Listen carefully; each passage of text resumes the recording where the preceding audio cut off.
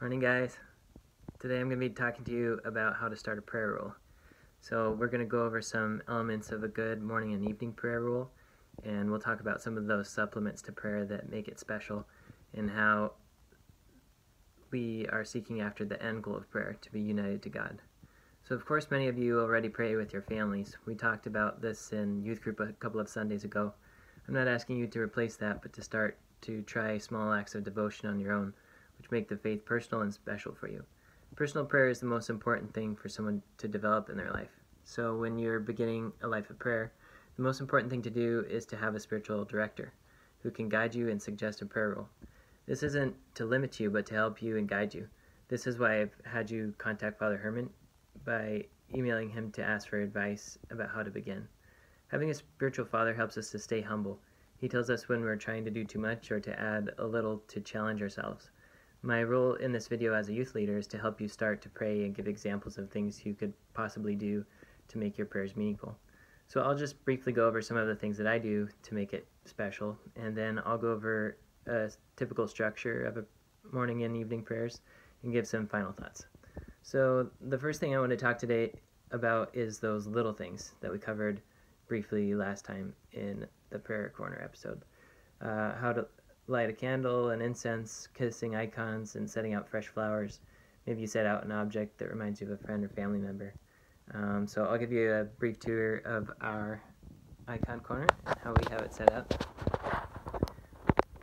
So here we have our incense and our flowers set out. We've got some special icons to married saints, uh, and we've even got some uh, holy oil and relics that we venerate. Um, St. John oil, uh, St. John Maximovich, we like to put on each other's foreheads in the morning.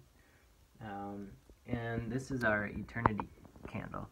It's a candle that uh, is always burning um, night and day, and it reminds us to pray because it's ceaselessly burning. We ceaselessly pray, and uh, you can see it's running low, so we'll just top it off with some olive oil. So those are some of examples of how you can add to your prayer corner. And I'm going to just briefly go over some uh, ways that I approach it, an icon corner reverently. So the first thing that you do is you approach it just like in church. Um, you um, make a couple of prostrations. You do two, then kiss the icon, and then bow to the floor. Those that's called a metania when you touch the floor. So you Make the sign of the cross, and then you touch the floor. And then again,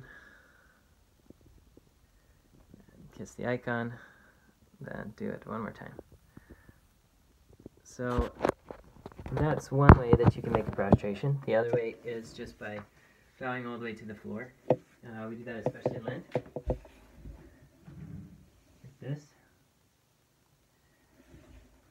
So you can do that do or you can do it when you're just feeling especially reverent. Um, the other thing I like to do is um, prostrate just before Christ for a longer period of time, sometimes especially before I start my prayer rule. And um, this is a nice thing to do. You you at times can really feel God's presence around you and um, kind of uh, just sitting in His presence is is really nice and um, his voice comes to us most often in these times that we're silent.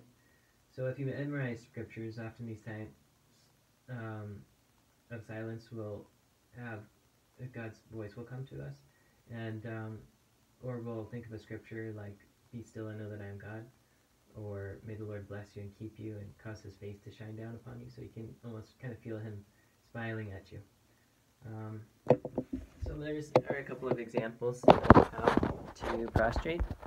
Um, when you approach the icons in these kind of reverent ways, God's pre- presence seems so near, and when we offer Him these acts of reverence, we show Him that we want to be in His presence, that we like to be in His presence, and He honors that, so you can often feel His presence tangibly in your heart.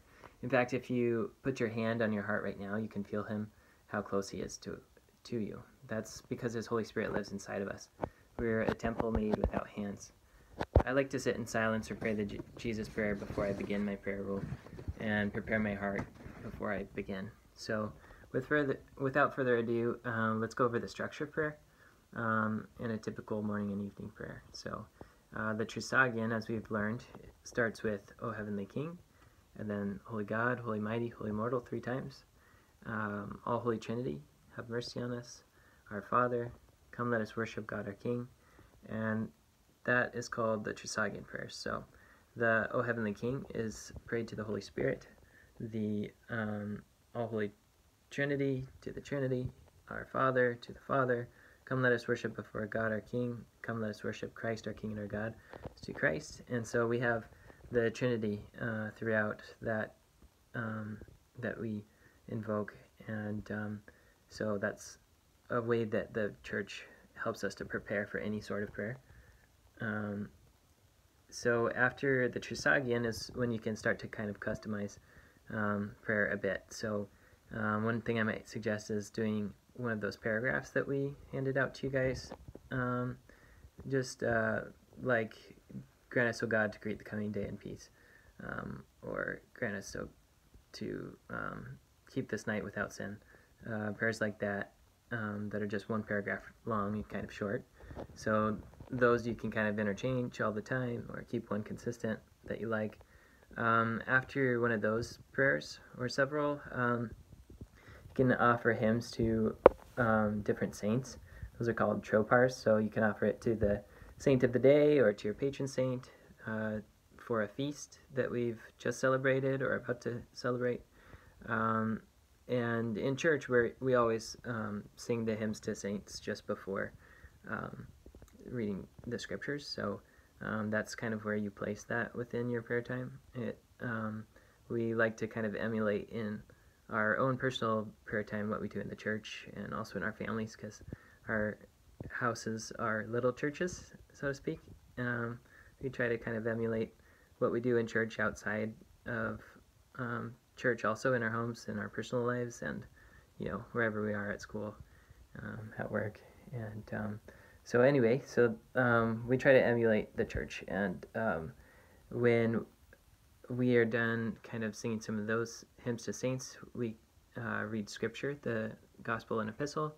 Um, and then one way that you can really customize um, your prayer is by offering special hymns. They're not necessarily related to the cycle of the daily cycle or monthly cycle, seasonal cycles, um, but like to the Theotokos. So, for example, Anastasia and I really love these hymns, um, and we offer it at the end. Um, we have songs that we sing together in special moments, um, like when we got um, engaged uh, and when we first started dating. We sang uh, this song. It is truly me to bless you, O Theotokos. Um, and usually a little better when we're together. Um, so we we sing that often, and every time we sing it, you know, it calls to mind uh, those special moments um, that we sing it together. So when you offer it in special moments, and you remember to pray it during your personal prayer, it just kind of reminds you of those special moments and perpetuates our thanksgiving to God. And um, so we sing these hymns every chance we get uh, before we go to bed, when we wake up, around meals. Um, so I'll put a link to um, some of our favorite recordings of hymns, um, but there are some prayers we only know by heart. Um, so maybe we'll record a special episode about hymns one of these days.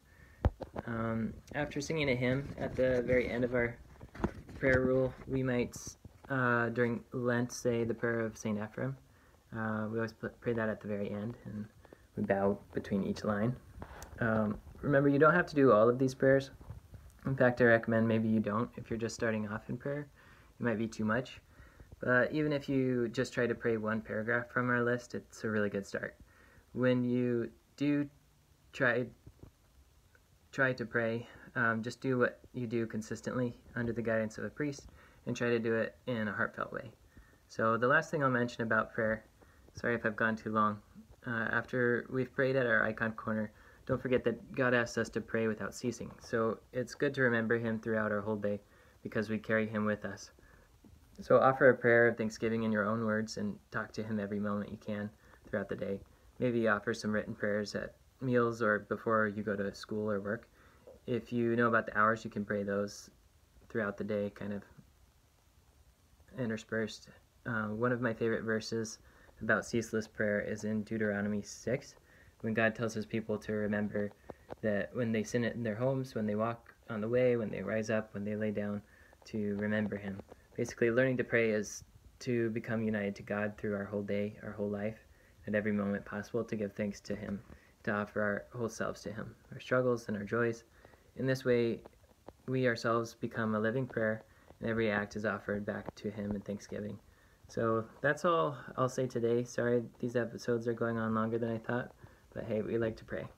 Um, remember, if you start a prayer rule today, I've got some special sweet prizes coming your way. Um, we've got some small icons, big icons, uh, oil lamp, beeswax candle, uh, prayer book, and tin cards. So practice your prayers. Um, have a good quarantine, and uh, this, is a good opportunity to go deeper in God. So uh, we'll talk to you guys later. Have a great day.